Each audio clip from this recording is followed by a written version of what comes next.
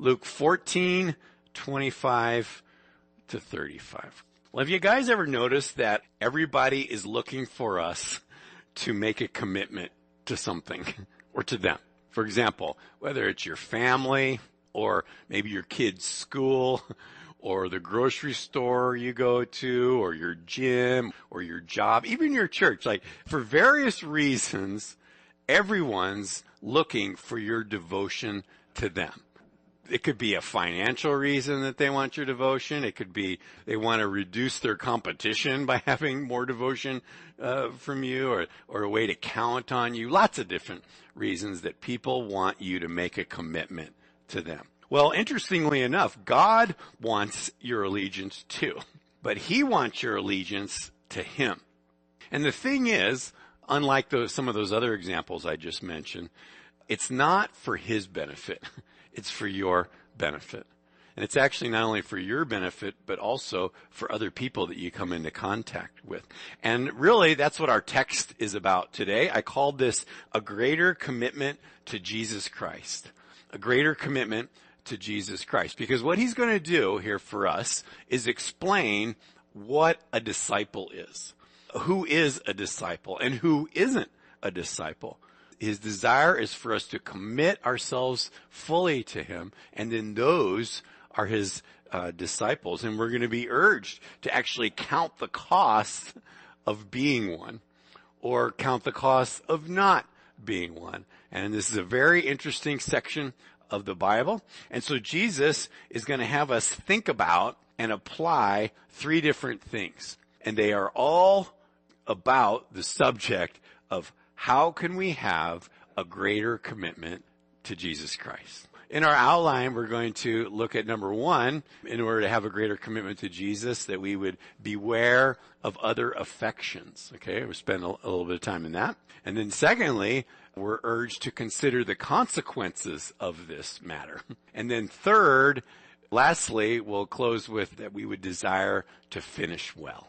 All right. So we'll start here in verse 25 and we're talking about a greater commitment to Jesus here in Luke 14. And number one in our outline is, uh, in order to do that, we want to beware of other affections. Okay. So here we go. Verse 25, Luke said, now great multitudes went with Jesus. And I wanted to stop for just a moment because to bring you up to speed, to this point, Jesus has been teaching previously in chapter 14 that the invitation by God is sent out to everyone to come to this great festival of believers in heaven. That was the parable that Jesus just taught about last time that we covered. And so what we're supposed to understand it is that God is giving an opportunity for all people everywhere to receive eternal life. That's what he was emphasizing last time and that there's going to be lots of room in God's kingdom for people and anyone can go so long as we're willing to go on his terms, which is through faith in his son, Jesus Christ. And so that's what Jesus has been talking about in chapter 14. And so now lots of people there in that crowd are hearing that and they're starting to go with him. And that brings us up to, to speed here. And we're told there in verse 25 that he turned to them, and this is what he said in verse 26. If anyone comes to me and does not hate his father and mother, wife and children, brothers and sisters, yes, and his own life also, he cannot be my disciple. I have a couple of books in my library that cover difficult passages in the Bible. Things like problem texts and hard sayings of Jesus and those kind of things. Well, this verse is in both of those books. Because first read, it's a doozy, isn't it? Mean, you're probably reading that going, wait a second, what did he just say? now to understand this verse, we need to do something first. I think you need to define the term disciple. Disciple is simply this, a committed follower of Jesus Christ. That's it. Somebody who's devoted to Him. Remember, as I said before, the previous section in Luke 14 is He gave the invitation to anyone to come to Him and be saved.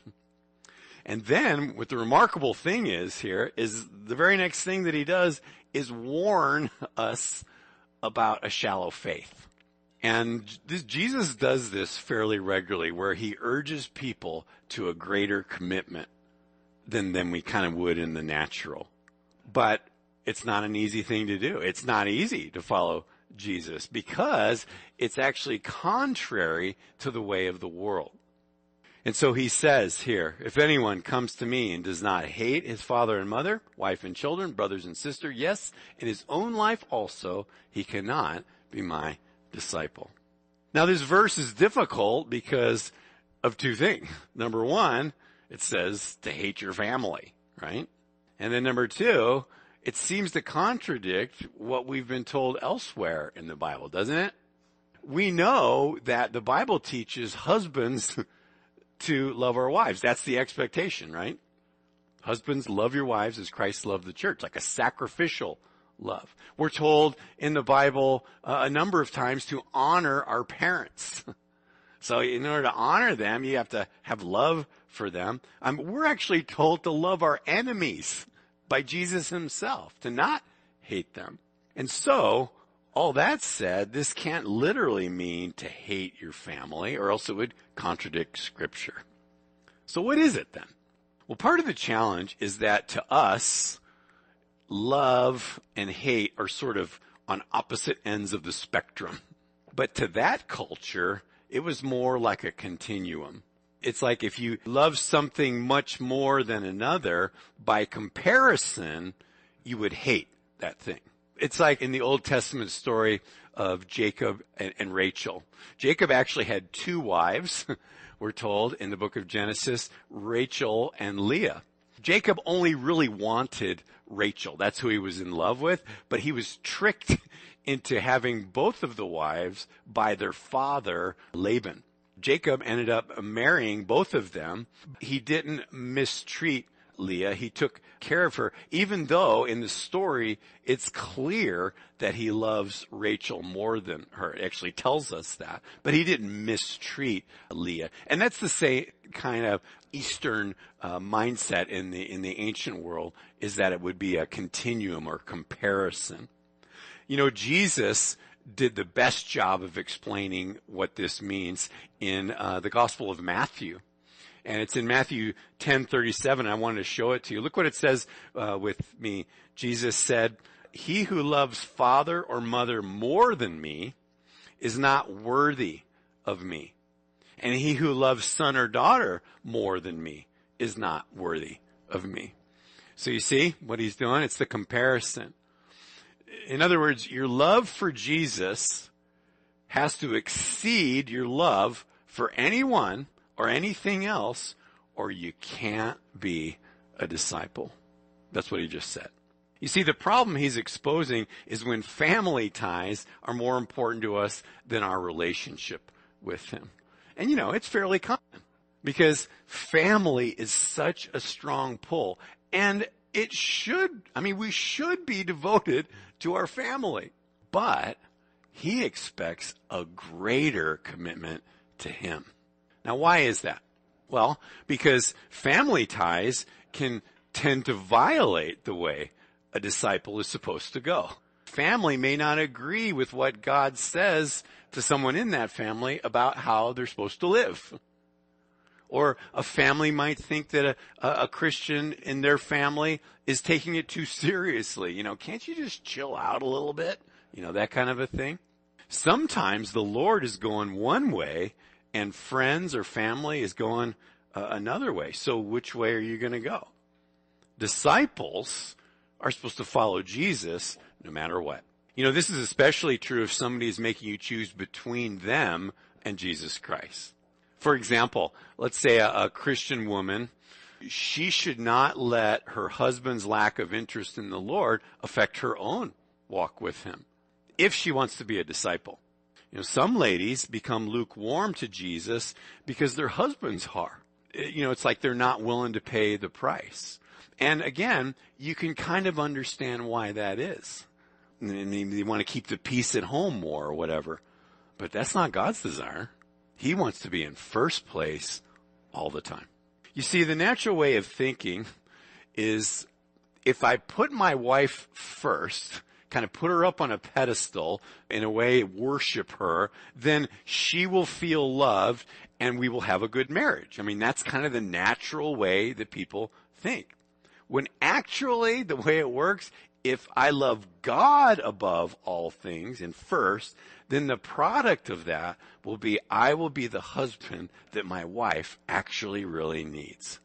So the point is here, if you're going to follow Jesus, he has to be first above all other relationships. Also, did you note there in verse 26 that he said you're supposed to love him not more, only more than, than other people, but he says greater than your own life also. What does that mean? Well, that means more than loving your own way or more than loving your own desires or, or more than loving your own feelings. Somebody said instead of asking how everything affects us, Jesus wants us to ask how everything impacts the kingdom of God and his glory. You know, instead of other people. You know, I was thinking one way to illustrate this and then I'll move on to the next verse. If you would just maybe imagine with me that you're one of the first disciples of Jesus, you know, that small group that he had and, and you're walking around Israel with him 2,000 years ago and, and you, you're going where he goes and you're talking to who he wanted to talk to. You're spending time in the places where he wanted to be. You're, you're sleeping outside. You're, you're eating what he ate and, you know, you're just basically doing all the things that he did. And that's what the disciples did, right? Now let's say at some point you decide that you're going to kind of veer off from that and go your own way. You know, you're going to start, well, yeah, I know what they're doing, but I'm going to organize my own plan. I'm going to go to my own places. Uh, I'm going to focus on some other things. And, you know, you are free to do that. But now, would you be one of his disciples any longer if that's what you did? I don't think so. It doesn't mean that you don't believe. It's just that in this example, you love your own way, your own life more than his life. And that's the point here that he's making. Well, he says it another way in verse 27. Let's look at that together, would you?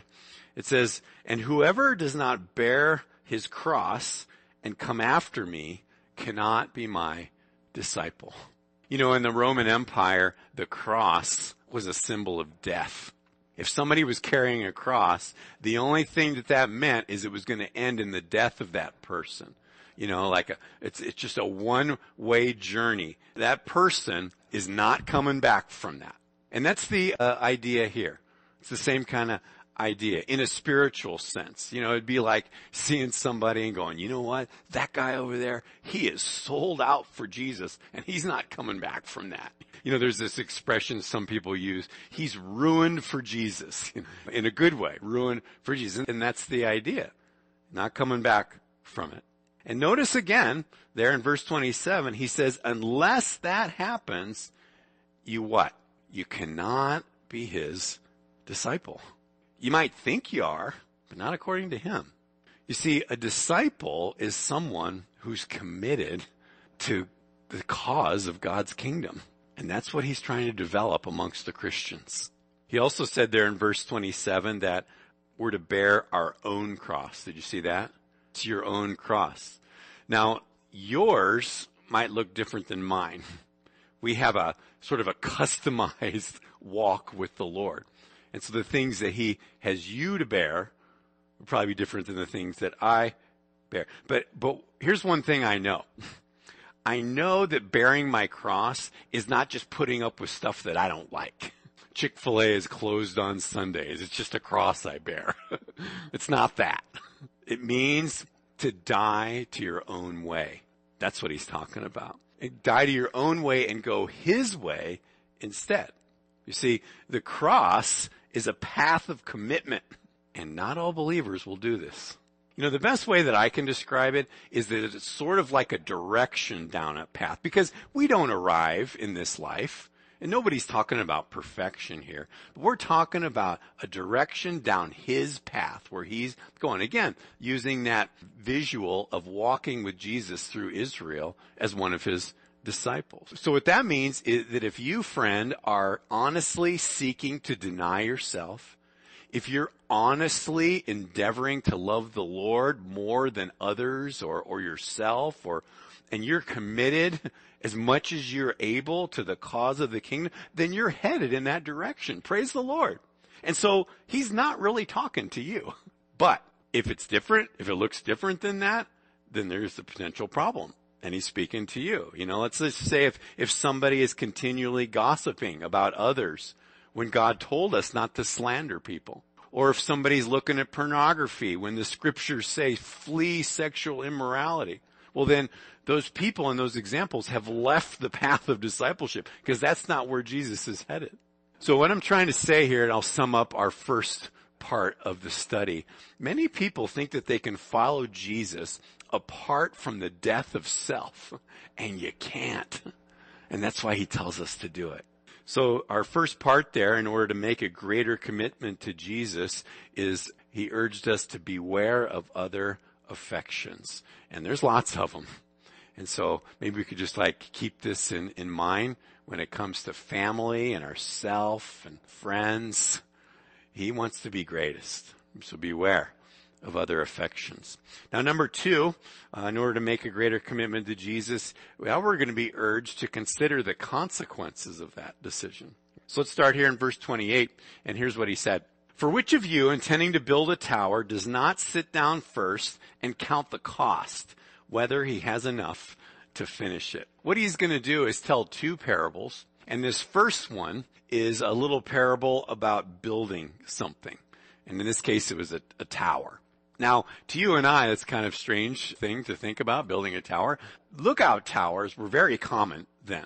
They would put them in, say you owned a vineyard, they would build a tower in the middle of the vineyard so that they could keep an eye on things. Watch for animals or fires or thieves, whatever it is, and it was just a common thing. And so, uh, he's talking about something to them that would have been an ordinary thing to see. You try and picture yourself being one of them and you're going to build a little tower on your farm. And so the question is, can I afford to do this, right? So then in verse 29, he says, lest after he has laid the foundation and is not able to finish, all who see it begin to mock him, saying, this man began to build and was not able to finish. Jesus points out this person who's mocked. And why is he mocked? Because he's not able to finish what he started.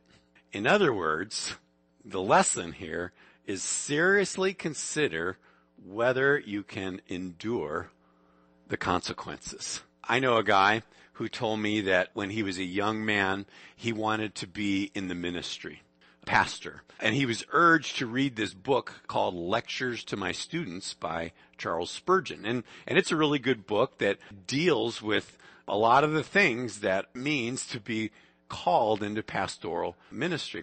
And he told me that after he read it, he decided not to do it. that the cost he could just see was going to be too great for him. So he never even took those steps. And that's the point that's being made here. Don't start something and then not finish because of the mocking that comes with it. You know, if you uh, live here in the Treasure Valley, years ago there was a big project in downtown Boise where a guy started to build a high-rise uh, building and then ran out of funding. And it sat there for years as just like this big partially completed hole in the ground. And he was sort of ridiculed in the community because of that situation there. And it's like what Jesus is talking about here. Started something that couldn't finish. So what is he trying to get us to understand as disciples? Well, I think it's this. If you think the world sees committed Christians negatively sometimes, it's nothing compared to half-hearted Christians. William MacDonald said, the world has nothing but contempt for half-hearted Christians. And I think he's right. And, and the reason is because we're so inconsistent in the things we do and the things we say, and everybody knows it. And so Jesus is using this little parable urging us to avoid that. He's like, count the cost by asking a question to yourself. can I afford to commit my life to it? He wants us to commit our life to it, but he wants us to think this through too. Well, he, he gives another example here in verses 31 and 32. He says, or what king going to make war against another king does not sit down first and consider whether he's able with 10,000 to meet him who comes against him with 20,000? Or else while the other is still a great way off, he sends a delegation and asks conditions of peace. Okay, so remember the, the question before that the parable taught was, can I afford to commit my life to this, right? Now the question is, can I afford not to? Can I afford not to commit? Can I afford not to follow Jesus with my whole life? And he uses a battle here. And it's a great analogy if you think about it. It's like he's saying, do you think that you can win the battles of life as a half-hearted Christian? You know, like eh, serving in ministry. Do you think you can win those without being all in? Or a parent, you know, say you have several children and you're a Christian parent. Do you think you can win the battles that come with that without completely giving your life over to the Lord? Or maybe you're an employee with a worldly boss who's always like doing stuff that really gets you. Jesus, I picture it saying, look, are you just going to surrender to the enemy or are you going to be my disciple? Boy, does that really get you thinking about how we're going to do this. Now, in case we haven't gotten the message yet, there's verse 33. So let's read this one together. He said, So likewise, whoever of you does not forsake all that he has cannot be my disciple. Well, this is not one of the most popular verses in the Bible, is it? I mean, I've never seen this one on a bumper sticker. he wants us, friend, to forsake everything for him. You see, those are the disciples. This would cover things like our possessions, maybe the things we buy, the things we own. A true disciple does not get to make all of those purchasing and ownership decisions on their own, is basically what this means. Like let's say that somebody wants to uh, make a particular purchase. That particular purchase may not be what God wants. And let's say, just for illustration here, that it's an expensive car, really expensive car. And that person who's a Christian says, you know what? I need a car and I want that one. And I don't care how much it costs. I'm get, I've dreamed of having that car and I'm going to get that car and I don't care what it costs. Now, is that person free to do that? Well, of course they are, right? And I would say it's not really a sin to do something like that. But I'll tell you what, it might make it difficult to follow Jesus now because they've got this big monthly payment and they're they're shackled to this job now to pay for it for 5 years or whatever and they can't be free to pursue what he's calling them to. And you know there's lots of examples of this kind of thing. And so the point I'm making is our personal decisions about our stuff and the things that we do affect our com- commitment to Jesus or they can. Did you see that phrase there? He said, forsake all that he has. That phrase in the original language is a say goodbye to. So maybe we could just imagine ourselves waving goodbye to anything that would get in the way of our greater commitment to Jesus, because that's what he wants us to do. I'd like to go back with you uh, for a moment to the first verse we read, verse 25, and remember that many were going with him, right? He gave the offer. Now many are going with them. And he's asking them, do you know what this will mean for you if you follow me? Do you know what this means in your relationship with your family or your own way or the things that you want? When I was reading through this and preparing, I was trying to determine why this is so important for Jesus that we're committed disciples. I believe it's because it's for our benefit. J.C. Riley, a teacher from uh, way back, he said, what you obtain by faith in Christ, you never lose. You see, you guys, God wants you to win this race, but it requires doing it His way. And part of that is being willing to forsake everything for His sake. You see, he's the chief building inspector and he knows exactly how the Christian life is supposed to be built right. And he wants to help us. So we have to listen and trust him when it comes to our life and the things that we do and the things that we love and kind of thing. I know that we uh, sometimes can get discipleship and salvation kind of all mixed together. And so I want to explain the difference between salvation and what we've been talking about here today. You know, often some of us will describe our conversion like this. They'll say, I gave my life to Jesus 20 years ago. Or I gave my life to Jesus in 1991. Or we say it like that. Now, I get the phrase, but it's not exactly true because he gave his life for you. You just accepted the gift. You see, the truth is he saved me. He did all the work. He made the sacrifice. I just believed. And so I say that because I don't believe that this section of scripture is talking about salvation at all. It's talking about after salvation. This is talking about your own personal commitment to your Savior.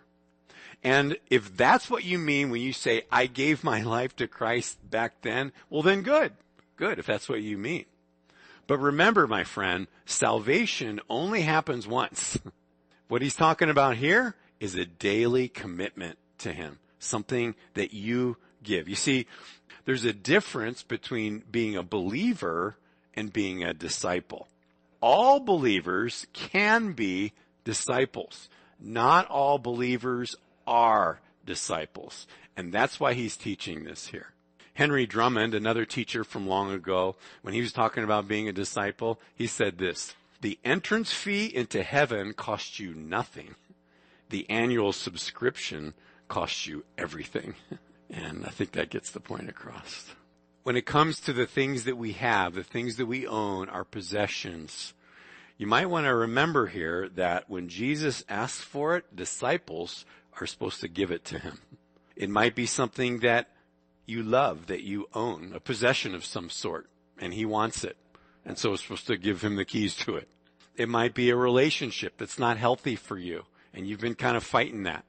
Well, when he asks for it, we're supposed to give it to him. Or it might be bitterness that we've been carrying around about someone for a long time. It might be your time. It just goes on and on. But when he asks for it, disciples give it. So consider the consequences.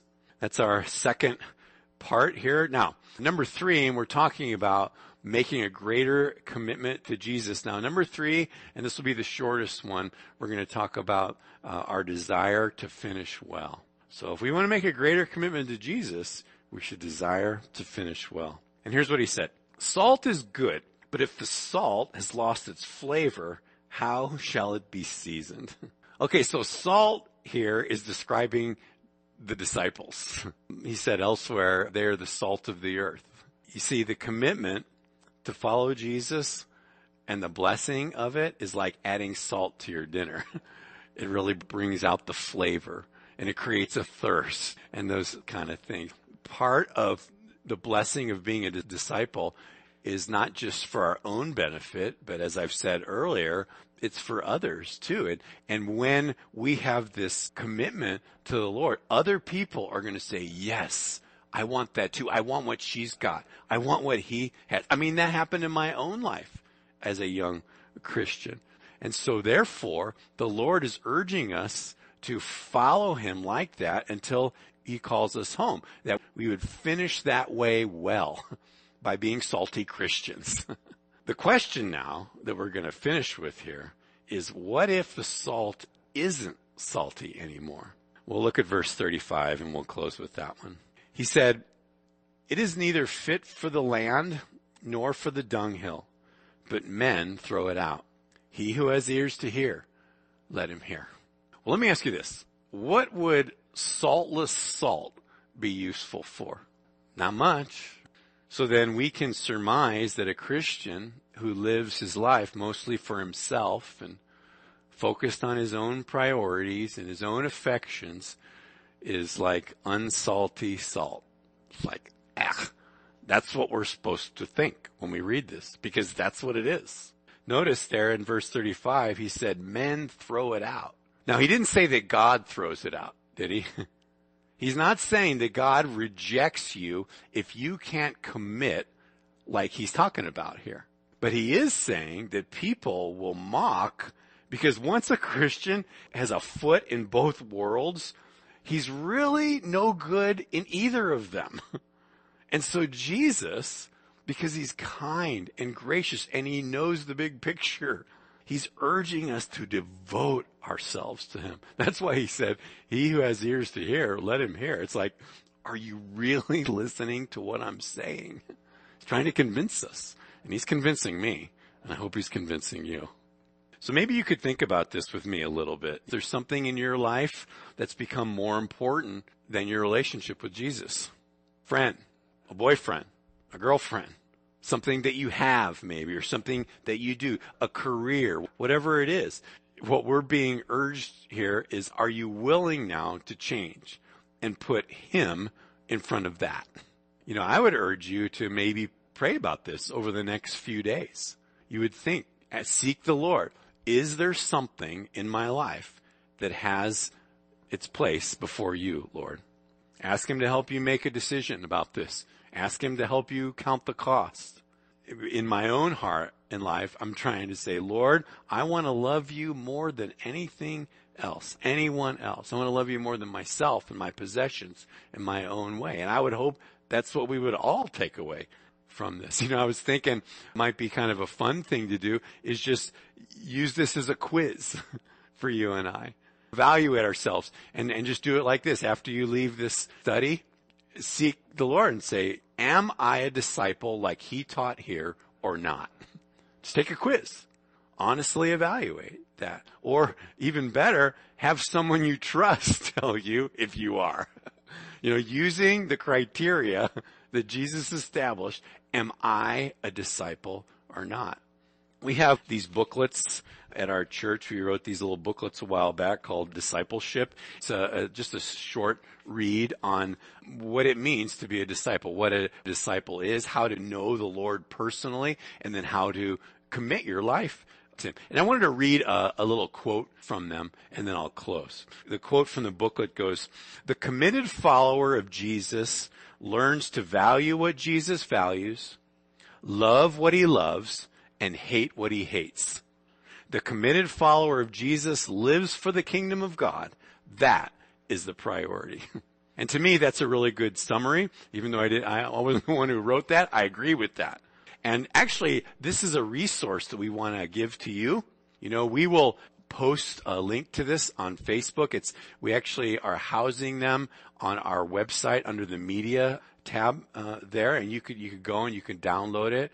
If you don't have access to those things, you could contact our church office, and we'll email. Well, just send an email to us, and we'll get you a copy of our discipleship booklet and help you to grow in those things. Well, before we close in worship here, if what we've been talking about today is your desire, I would just ask you to seek the Lord. Ask God to fill you with His power, fill you with His Spirit, so that you can make a daily commitment to do things like read your Bible and, and pray earnestly and, and serve Him and want to be in fellowship with others. Because as you put yourself on the path of commitment, He will, you'll have lots of opportunities, as He said, to take up your cross and follow Him. Will you pray with me? Lord, I just pray for everyone that's listening to this message. And God, that you would minister to those who have been convicted by your word and that they would turn from the path of, of just sort of half-hearted uh, Christianity and put themselves completely at your will, Lord. I pray that we would just, as a church, that we would yield to you, Lord, and that you would help us, Lord, that we wouldn't be feel condemned, but we would feel uh, encouraged and hopeful that you desire to do a great work in our life now, and then that we will rejoice with you when we see you face to face and you say, well done, good and faithful servant. So we love you, God, and we praise you. In Jesus' name, amen.